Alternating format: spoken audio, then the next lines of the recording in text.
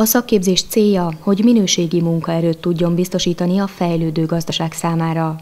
Pölöskei Gáborné szakképzésért és felnőttképzésért felelős helyettes államtitkár szerint ehhez olyan együttműködésekre van szükség, mint amely a Dél-Dunántúli régióban ipari szereplők, önkormányzati szervezetek és oktatási intézmények részvételével már kialakulóban van.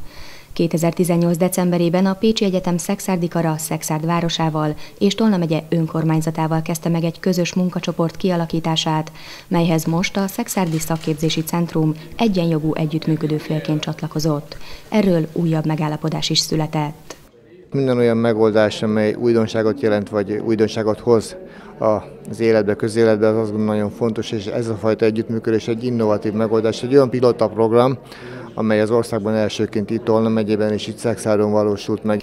Ennek az új integrált térségi képzési központnak a legfontosabb eleme, hogy új tartalmat ad a duális képzésnek, és még gyakorlatorientáltabb képzéseket nyújt az oktatásban résztvevők számára. Nem csupán, idézőjelbetéve csupán a meglévő munkáltatói, munkaadói intézményi kapcsolatokra épít, hanem újabbakat hoz be ebbe a képletbe, és próbál minél több olyan partnert találni, amely partnerekkel gyakorlati képzőhelyeket tudunk kialakítani.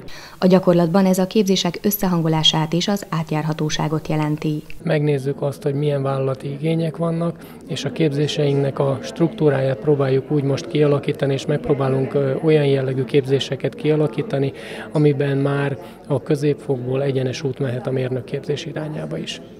A sajtótájékoztatón az is elhangzott, ez a térségi együttműködés példaértékű kezdeményezés a kormány által márciusban elfogadott szakképzés 4.0 stratégia szempontjából is.